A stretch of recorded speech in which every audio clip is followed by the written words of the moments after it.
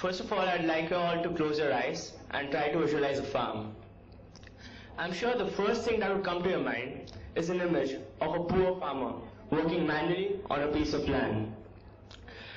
Just like the field shown in the movie Lagaan, where the farmers are constantly praying for good rains to have a harvest enough to feed the whole village. But, um, yeah. Uh, so, uh, um, harvest enough to feed the whole village. And uh, after that, um, they also had, um, uh, it's a hand-to-mouth existence for these farmers. They have creditors hanging around in the background and the rain gods playing truant. This is my perception about farming and to a certain extent is a reality for most of the small farmers in India. A year back, I went for a small vacation to Kenya and this is the place where my understanding of farming underwent a paradigm shift. For most of the developing countries, this uh, perception about farming is quite similar. We all believe that farming is an industry done by poor, uneducated farmers who um, basically do that to make a living. None of us can be blamed for thinking like this because this is the best we have seen. When in Kenya, I was supposed to go and visit my uncle's farm. I must confess, I was not really keen on going and visiting this farm as I had heard enough about it from my uncle. I told my mom that I was here in Kenya to see the big five and not waste my time on, an, uh, on visiting an ordinary farm. And I argued that we have loads of them back home, so why do I need to go to Kenya and watch the same farm? And um, but then, uh, as usual, uh, she managed to convince me by promising me dire consequences if I managed to wriggle out of this trip. And uh, so I went to the farm, and on the farm, this is what I saw. Yeah. So um, my uncle is one of Kenya's largest um, greenhouse rose producers, and um, when I was over there, I saw he had two farms, and on his farms he used different technologies like greenhouses, hydroponics, uh, automatic fertigation systems, and drip irrigation. And uh, he talked about harvests in tons and millions, whereas all I had heard from farmers over here was in mere thousands and kilograms. And this is the first time I had seen farming being conducted as an enterprise, as a business. Um, when I uh, saw this, I also saw that he had 65 hectares of greenhouses and employed over 1,200 people. Um, but I still wasn't convinced of farming as an idea. I just couldn't imagine myself standing in the middle of a crowd and saying, Hi, I'm a farmer. But um, soon I realized and I read and realized that uh, farming forms the very foundation of our society. It caters the whole population with proper nutrition, thereby fulfilling the most basic need of uh, human society. Uh, but still, uh, another thought came to my mind, which was that um, there are there are always farmers going to be there in the future, and there would be food in the future. So why should I become a farmer? But then I remembered the words of my teacher, who always used to ask me that if not you, then who? And then I started thinking of the career of agriculture a bit more seriously. But I yet did not do anything substantial till, till I got an opportunity to participate in TYE, which is a competition for uh, young entrepreneurs.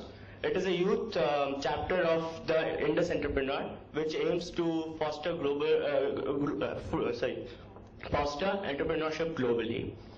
And um, when uh, we, were, we were participating over there, I was looking for more novel, exciting ideas. But I couldn't find any, and I'm fortunate that I couldn't find any. So I started researching about this idea of farming and technology in farming. Um, I, uh, I was looking for uh, ideas, I was sharing it with many people, but there were no takers for my idea until I met Shivam, who also showed a lot of interest. And our team and us underwent and uh, researched different aspects about farming, ranging from technical aspects to financial. Yeah, so uh, when we were first formulating our idea, we thought it'd be cool to grow vegetables such as uh, lettuce or broccoli because they're exotic, they have high selling prices, and they're growing in popularity. We later on went to go research in the world of uh, agricultural, or actually not agricultural, sorry, uh, in the world of uh, retail vegetable sales. Uh, we researched factors such as uh, the variety of the vegetables sold, uh, uh, the demand for these vegetables, and the prices. Out of the few hours that we spent there, we realized a trend. Tomatoes, potatoes, and onions were being sold in the biggest quantities, and our beloved lettuce and broccoli had barely been touched. We wanted to find out why. We looked for patterns and we found a similarity between these three, which was that they were all cheap, versatile, and used in almost every single Indian dish. For example, think about it. My favorite dish, dalma, was made with potatoes. Tomatoes make tasty gravies, and, uh, and onions accompany them in almost every meal. And all together, they make a tasty and nutritious meal.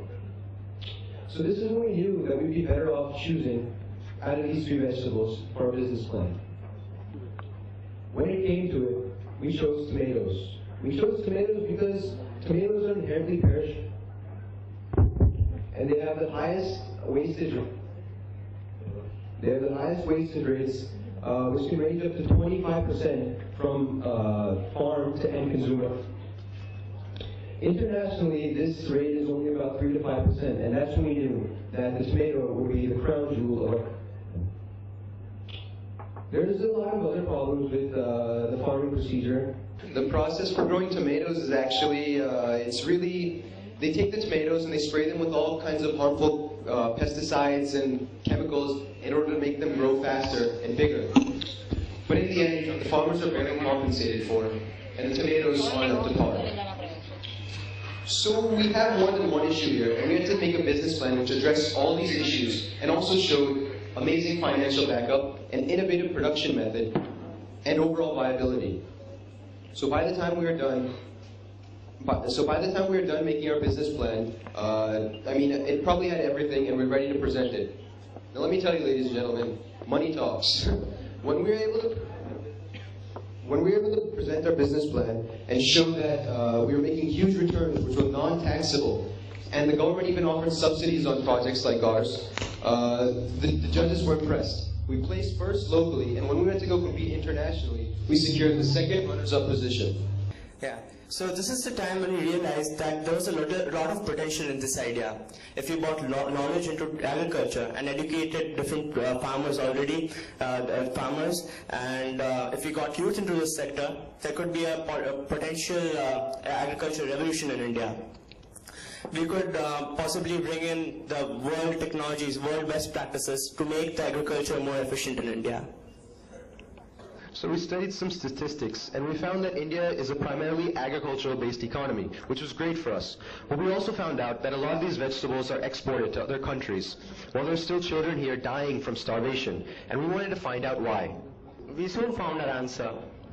Here you see the wheat prices the wheat prices rose 48.5% in just one year. Now how can we expect a poor person to afford such a steep rise in prices? The picture was clear, but it grew blurred. Because according to my somewhat knowledge of economics, if there's more supply, there should be cheaper prices. But this was definitely not the case.